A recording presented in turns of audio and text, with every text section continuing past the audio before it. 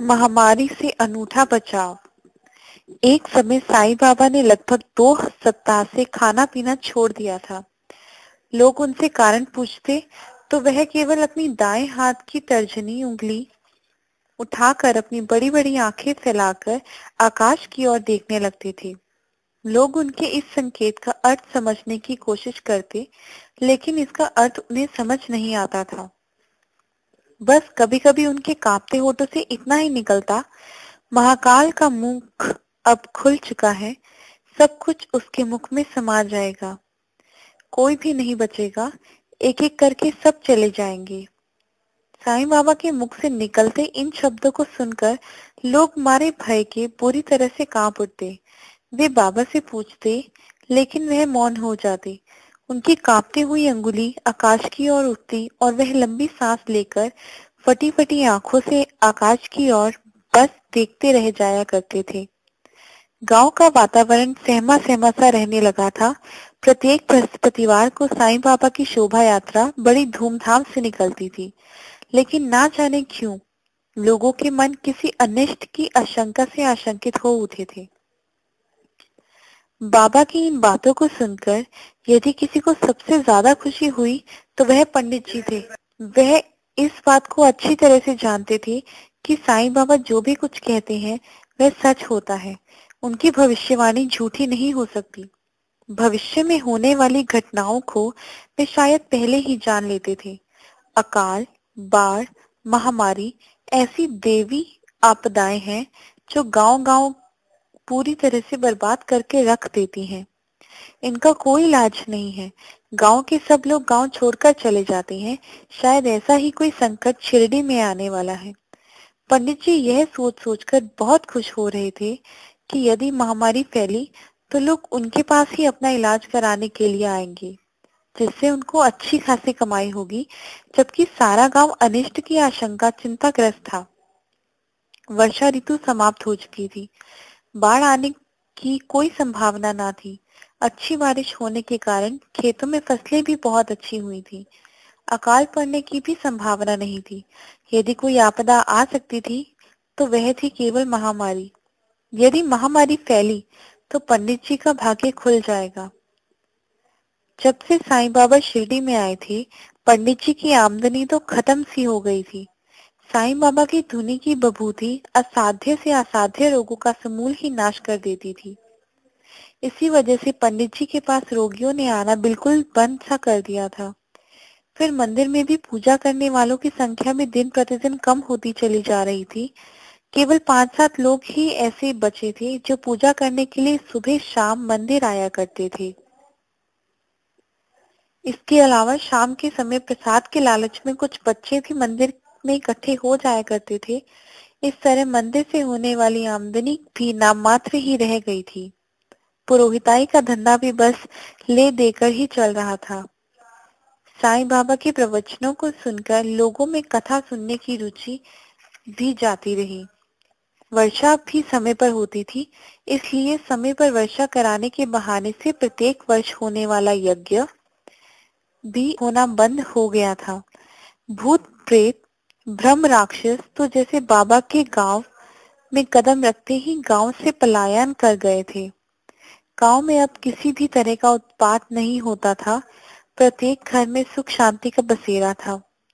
आपस की लड़ाई झगड़े भी अब बंद होने लग गए थे। पंडित जी को जैसे कुछ काम ही नहीं मिल रहा था। वे सारे दिन अपने घर में बेकार ही पड़े रहते थे। घर में पड़े पड़े पंडित जी बहुत दुखी हो गए थे। उनके सामने रोजी रोटी की समस्या खड़ी होने लगी थी। साईं बाबा बराबर चिंता में डूबे रहते थे। एक तक आकाश की ओर देखते रहते थे। किसी से कुछ भी ना बोलते थे। तभी आसपास के 20 कोस के इलाके में हैजे की महामारी फैलने की खबर से शिरडी गाँव में कोहराम मच गया।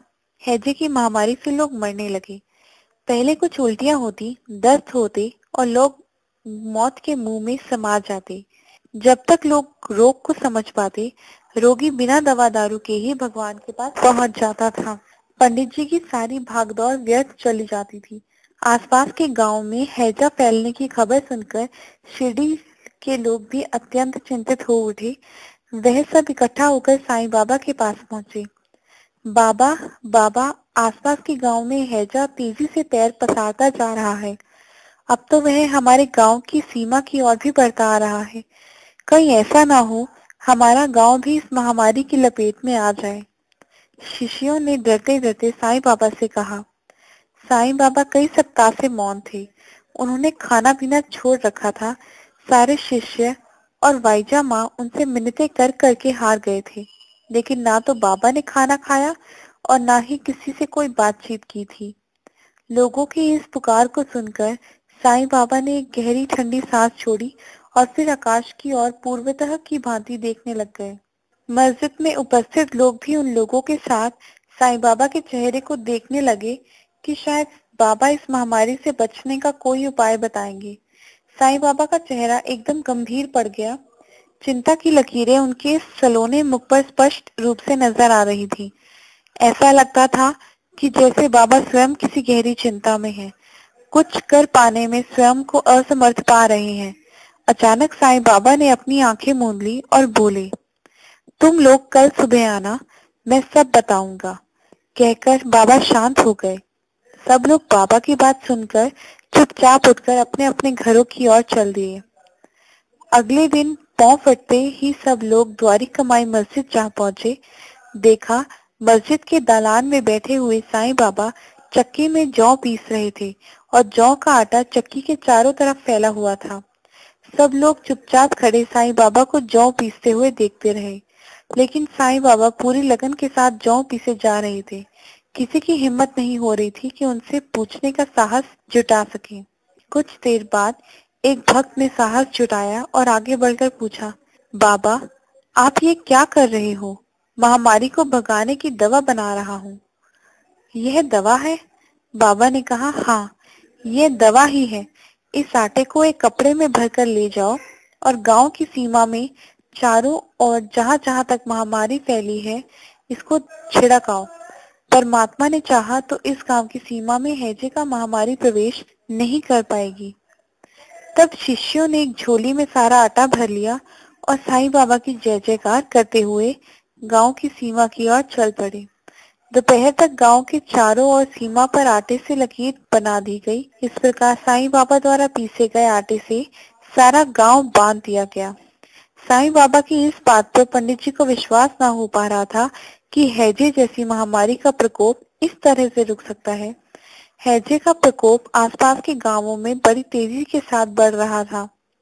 दस पाँच आदमी रोज़ाना मौत के मुँह में समाते चले जा रहे थे। चारों ओर हाहाकार मचा हुआ था।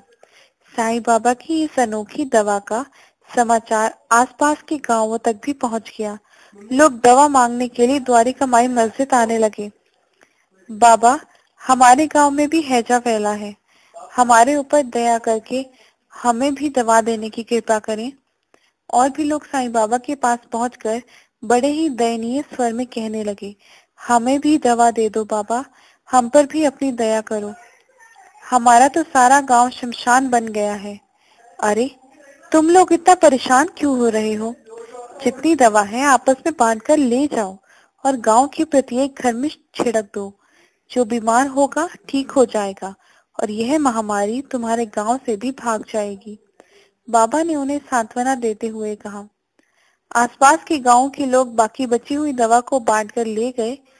साईं बाबा की चक्की के घर घर की आवाज़ फिर मस्जिद के गुम्बदों और मीनारों में गुंजायमान करने लगी। दूर दूर के गाँवों के लोगों की भारी भीड़ लग गई। साईं बाबा की दी हुई दवा जिस गाँव में पहुँच जाती, वहाँ हैजे की बीमारी का नामो निशान ही मिट जाता। बीमार इस तरह से उठकर खड़े हो जाते, मानो वे बीमार तो पड़े ही नहीं हो। दवा एकदम रामबाण के समान अपना काम कर रही थी महामारी गधे के सींग की तरह गायब होती जा रही थी। साईं बाबा की दवा की कृपा से सैकड़ों घर उजड़ने से बच गए। हर तरफ़ पर साईं बाबा की जय जयकार के स्वर ही सुनाई पड़ रहे थे। साईं बाबा की कृपा से सबसे अधिक नुकसान यदि किसी को हुआ तो वह थे पंडित जी। उनको कोई भी नहीं पूछ रहा था। महामारी फैली, पर उनके दवा खानों में एक भी आदमी दवा लेने नहीं आया। पंडित जी साईं बाबा से बुरी तरह से जले भुने बैठे थे। साईं बाबा उन्हें गाँव में ऐसे खटक रहे थे, जैसे आँख में तिनका। पंडित जी दिन रात इस चिंता में घुल जा रहे थे, किस तरह से साईं बाबा को नीचा दिखाकर या शिरडी से निकाल भगाया जाए। वह अपने मन में बराबर उनके लिए नई नई योजनाएँ बनाए रहे थे, पर उनकी सारी योजनाएँ अमल में लाने पर असफल होकर रह जाती थी।